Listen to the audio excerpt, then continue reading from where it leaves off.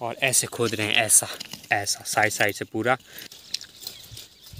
तो आलू कहाँ पे रखो यार आलू कहाँ पे मतलब?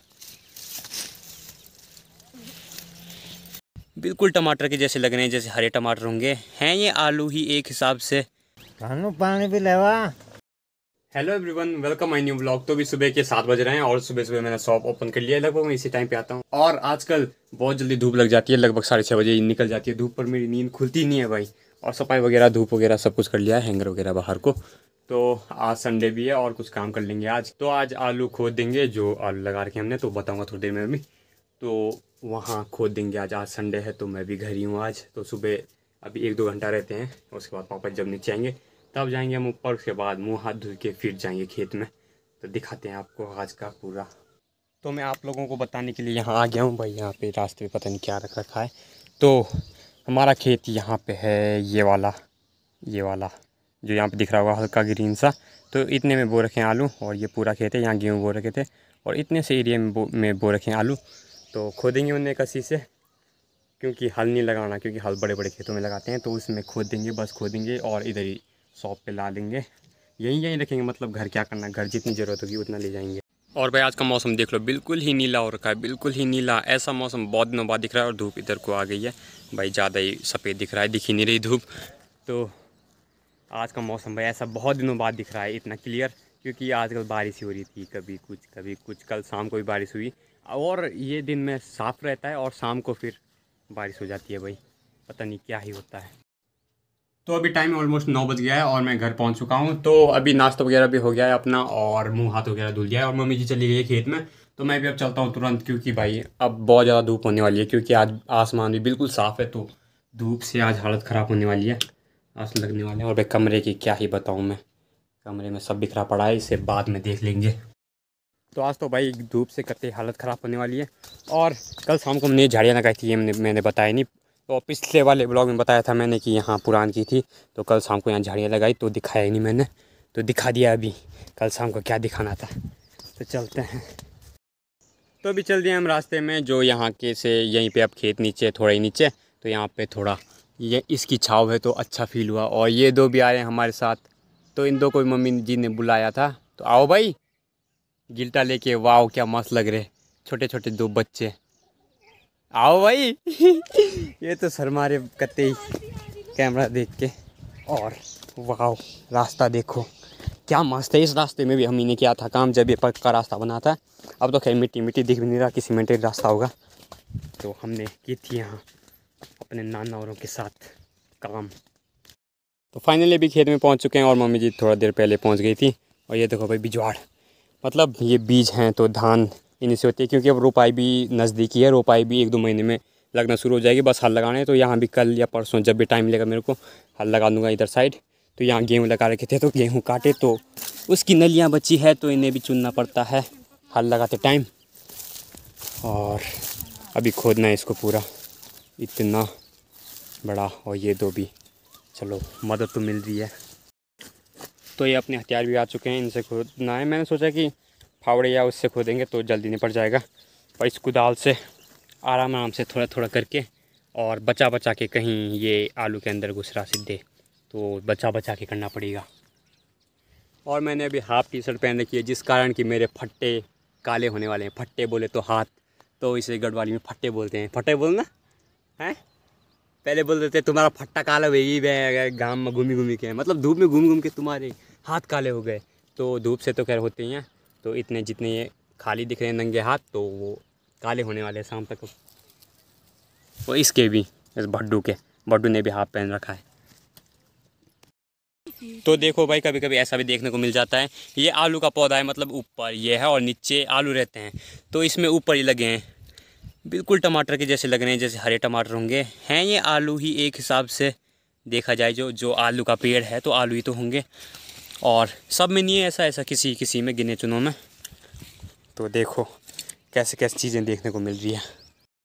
तो अभी कुछ इतना निपटाने के बाद एक थोड़ा काबिल आलू मिला है, जो मेरे हाथ के बराबर है लगभग। तो इतना बड़ा आलू अभी निकला है बस, अभी और भी निकलेंगे, पर पता नहीं है। तो यह है मेहनत, ये मिलनी चाहिए। और भाई, इतने से सिर्फ़ आधा कट्टा हुआ, ये वाला आधा कट्टा जो सीमेंट का कट्टा रहता है, उसमें से आधा और ये कुछ बाल्टी है, और सबसे बड़ा आलू। और ऐसे खोद रहे हैं, ऐसा ऐसा, साइड साइड से पूरा, जो भी ये पुरान कर रखी है उन पर तो उसको पूरा खोद रहे हैं। मैंने तो बोला था सीधे हली लगाते थे तो सीधे आलू उठाते रहते थे, जैसे जैसे हल लगता, पर नहीं, ऐसा ही सही। तो अभी पहला चक्कर ला रहे हैं हम तो यहाँ पे ये है कट्टा, और ये इन्होंने भी एक छोटा छोटा कट्टा ला लिया है, इसने पीठ पे लगा रखा है, और यहाँ पे अनिल भी अपने बैलों को चरा रहा है। तो ले जाते हैं। ऑलमोस्ट ये अभी हुआ है तीस चालीस किलो अभी लगभग जितना मेरे को आइडिया लग रहा है क्योंकि बीस पच्चीस किलो ये पच्चीस तीस किलो और उनमें भी होगा। तो तीस चालीस किलो अभी पहले चक्कर में हुआ है तो दो तीन चक्कर होंगे ज़्यादा नहीं। थानू पानी भी लेवा। पानी कहाँ से लाऊं तेरे लिए? तो फ्रिज है। फ्रिज? फ्रिज में नहीं रख रखा यार पानी। तो अभी फाइनली कुछ इतना हो गया है अब इधर को थोड़ा नीचे को बचा है और उधर को और यहाँ हो गया और नानी जी आ रही थी थोड़ी थोड़ी देर, नानी जी भी चली गई। नानी जी, और भाई आसमान में देखो, दोबारा से रिंग बन गया। ऐसा भी बहुत बार बनता है, दिख रहा है कि नहीं? हाँ दिख रहा है। रिंग टाइप का बन रखा है सूरज के चारों तरफ़, और ये भी लगे हैं, बड़े ईमानदारी से। मैं कट्टे ले जा रहा हूँ, ये खोद रहे हैं और कट्टा भर रहे हैं, मैं तब तक आराम कर रहा हूँ। और मैं कट्टा ले जा के आ रहा हूँ दोबारा, एंड होने वाला है। होने वाला है, थोड़ा ही बच्चा है, ज़्यादा नहीं।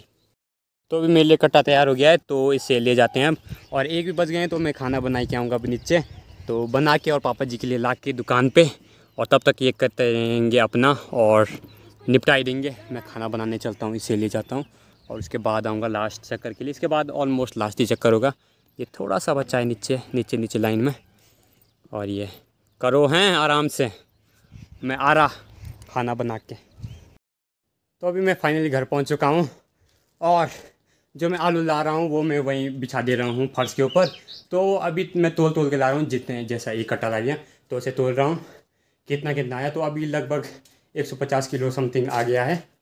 तो ठीक है, मुझे नहीं पता ज़्यादा हुए, कम हुए, अच्छे हुए, कैसे हुए, मुझे नहीं आइडिया। और आसमान में भी हल्के फुल्के बादल आने लग गए हैं। वैसे शाम को बारिश होने के चांस लगे ही रहते हैं, क्योंकि रोज़ ही शाम को हो रही है आजकल बारिश। शाम को आते हैं बादल वो थोड़ा बारिश होके फिर साफ़ तो अभी खाना बनाते हैं। और यहाँ कंधा देखो भाई, जैसे मैं उठा रहा था तो मिट्टी मिट्टी से हो रखा है पूरा। तो कोई नहीं, उसके बाद ही नहाऊँगा। तो खाना बना के पापा जी के लिए ले जाते हैं, उसके बाद लास्ट राउंड है आई थिंक तो उसे लाने के बाद, उसके बाद मैं खुद खा लूँगा खाना। मम्मी जी भी खाएँगी। तो अभी मैं खाना बना के नीचे आ चुका हूँ और बस अपने खेत में भी पहुँचने वाला हूँ। तो मेरी वीडियो में आपको हल्का फुल्का बबल इफ़ेक्ट टाइप का दिख रहा होगा, क्योंकि मैं, मेरा, मैंने पहले भी बताया कि मेरा अल्ट्रा वाइट कैमरा स्टेबल नहीं है तो मैं एडिटिंग के माध्यम से उससे स्टेबल कर रहा हूँ तो हल्का फुल्का बबल इफ़ेक्ट दिख रहा होगा कहीं कहीं पे। तो अल्ट्रा वाइट स्टेबल नहीं हुआ सिंपल कैमरे में वीडियो नहीं लगती है ठीक, क्योंकि उस पर चेहरा चेहरा दिखता है इतना तो वो नहीं लगता है ठीक, इसमें पूरा कवर होता है अल्ट्रा वाइट कैमरा में। तो इसलिए मैं अल्ट्रा वाइट कैमरे से ही ज़्यादा प्रीफर करता हूँ वीडियो बनाना। बट स्टेबल नहीं है इस फ़ोन का अल्ट्रावाइट तो हल्की दिक्कत है। तो भी पहुँच चुका हूँ दोबारा यहाँ खेत में और वो भी, दो भी चले गए हैं, जो बच्चे थे वो भी चले गए, बेचारे थक गए होंगे क्योंकि दो भी बजने वाले हैं। तो चले गए, बहुत मदद की उन्होंने, बहुत ज़्यादा। और अब बस ये कोना बचा है थोड़ा सा, इसे निपटा के चलते हैं। और मैंने भी खाना नहीं खाया तो बाद में खाएँगे। तो कोई नहीं तो ये यहाँ पे आलू हैं और वो उन्हें ले जाना है और जो इधर को होंगे उन्हें ले जाना है। तो अभी फाइनली पूरा निपट चुका है और एक कट्टा, ये दो छोटे छोटे कट्टे और हुए थे जिनमें मैंने एक एक बाल्टियाँ डाली थी। तो वो दो बच्चे और आ गए थे। बच्चे वे, बच्चे बोल रहा हूँ, जो छोटे छोटे आ रहे हैं। तो उन्होंने ले लिया, ले गया। तो आफत कम हो गई थोड़ा, वरना दो चक्कर आने पड़ते मेरे को अभी भी। तो मम्मी जी अभी घास कट्टा कर रही है, जो ये है। मम्मी जी घास ले जाएगी, मैं ये कट्टा ले जाऊँगा। ये अभी बहुत ज़्यादा भारी हो गया है। थोड़ी देर पहले पच्चीस छब्बीस किलो तक का था, ये अब तीस पैंतीस का हो गया सीधे। तो कोई नहीं, इसे सीधे घर ले जाने से दुकान में नहीं सीधे घर ले जाना है। ये अपने काम आएगा, अपने खाने के काम। तो अभी चल दिए हम घर की तरफ़, और भाई ये वाला चक्कर कुछ ज़्यादा भारी था, ये वाला। तो अभी ये होगा लगभग तीस बत्तीस किलो होगा, जिस हिसाब से मेरे को फील हो रहा है। तो अभी मैंने ये पीठी में टांग दिया, क्योंकि गर्दन में ले जाता तब ठीक नहीं था, कंधे में। ठीक नहीं है इतना भारी वज़न। मम्मी जी थक गई। और ये मम्मी जी घास ले जा रही है उनके लिए, और इस बाल्टी पे भी आलू हैं क्योंकि इसमें ज़्यादा ओवरलोड हो गया था और ये बोतल पानी की। तो चलते हैं, अब तीन भी बज गए हैं यहीं। अभी दस मिनट में पहुँच जाएँगे घर। तो चलते हैं। तो अभी फाइनली पहुँच चुके हैं घर में और लास्ट चक्कर में तो कुछ ज़्यादा पसीना पसीना हो गया। हालत ख़राब हो गई। तो अभी मम्मी जी का वेट करते हैं, थोड़ा आराम करते हैं। खाना खाते हैं, उसके बाद नहाते हैं। उसके बाद मिलते हैं, देखते हैं क्या क्या होता है। फ़िलहाल तो बादल छाने लग गया आसमान में। बारिश भी हो सकती है। कोई भरोसा नहीं है। पर हालत ख़राब हो गई। तो यार, अभी शाम के ऑलमोस्ट साढ़े छः हो गया टाइम और अभी मस्त हवा चली अब तक मैं अंदर ही पड़ा हुआ था। नींद आ रखी थी भयंकर वाली। नहाने के बाद मैं पड़ गया, आराम कर रहा था। और अभी मस्त हवा चल रही है और आसमान भी मस्त बादल छा रखे हैं, पर बारिश नहीं हुई, ना ही होगी शायद मेरे हिसाब से। तो आज के लिए फ़िलहाल इतना ही। पसंद आएगा तो लाइक करना शेयर करना सब्सक्राइब करना है मिलते हैं जल्दी नेक्स्ट ब्लॉग में। Thank you so much for watching bye